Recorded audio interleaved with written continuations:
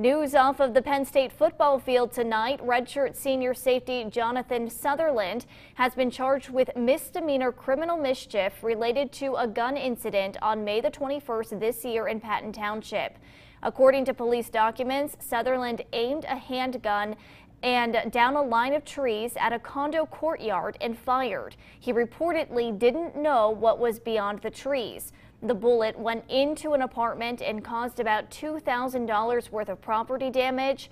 Police say Sutherland has, quote, little to no experience handling a firearm and he did not own the gun. Sutherland's preliminary hearing is scheduled for August the 4th.